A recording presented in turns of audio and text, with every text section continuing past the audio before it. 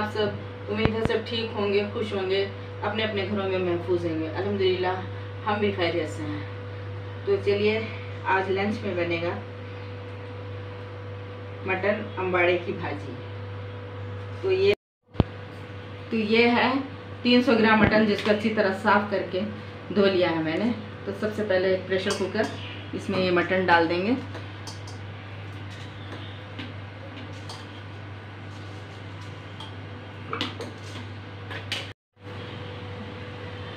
इसमें ज़्यादा कोई चीज़ की ज़रूरत नहीं पड़ती है। बहुत आसान है और बहुत मज़ेदार रेसिपी है।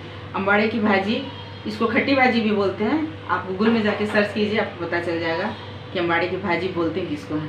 तो ये 300 ग्राम मटन इसमें प्रेशर कुकर में मैं डाल दी। ये तीन बड़ी प्याज, सात से आठ हरी मिर्च, अदरक, लहसुन का पेस्ट। ये अम्बाड़े की भाजी जिसको अच्छी तरह धो के, साफ़ करके मैंने धो लिया है और इसको बारीक प्रेशर मिक्सर में पीस ली हूँ। वैसे लोग इसको घोटा भी लगा देते हैं लेकिन मुझे पसंद नहीं मैं हमेशा पीसती हूँ इसको। और ये पड़ेगी हल्दी और धनिया पाउडर। तो ये नमक ए, नमक हसबे का और तेल थोड़ा सा क्योंकि गोश्त में चर्बी ऑलरेडी बहुत ज़्यादा है। ये तेल दो टे, टेबल स्पून ये प्याज हरी मिर्च।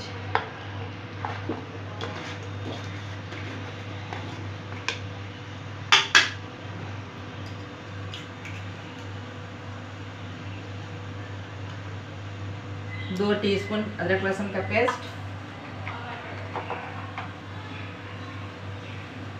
आधा टीस्पून हल्दी,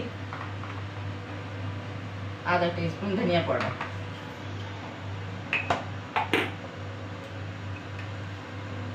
नमक, हसबे जायका,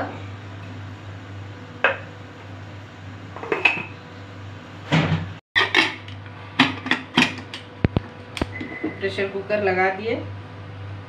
कल रात को हमारा ट्यूब ख़राब हो गया था, ऑफ़िस में फ़ोन किए।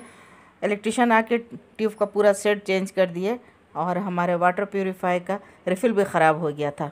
उसको भी हम लोगों ने चेंज करवा दिया काफ़ी बिज़ी दिन था आज का हमारा।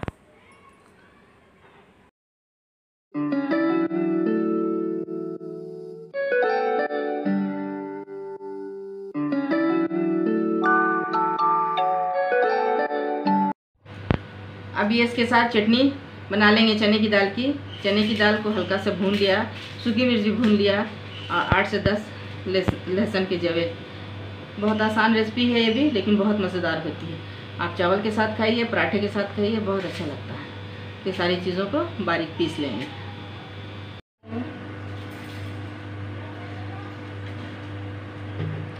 तब ये चटनी पीस रही है मेरी बेटी तो चलिए।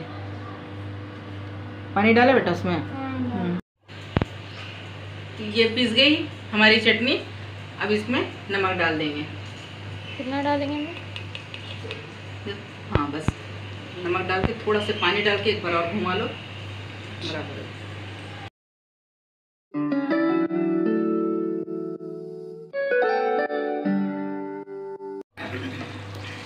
अब ये इस तरह हो जाने के बाद अब इसमें ये भाजी डाल देंगे।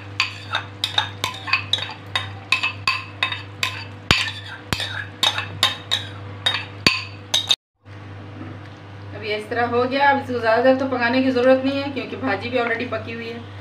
थोड़ा सा खौला लेंगे।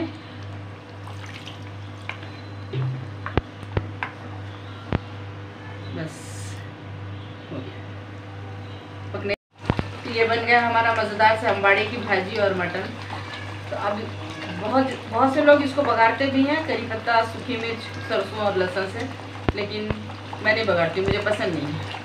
वैसे करी पत्ता है भी नहीं मेरे पास, और इसी वजह से ऐसे सादा भी बहुत मज़ेदार होता है। ये बन गई हमारी मज़ेदार रेसिपी डिश आउट करके बताती हूँ। तो हमारा लंच हो गया तैयार, सादे चावल अम्बाड़े की भाजी, मटर और चने की दाल की चटनी।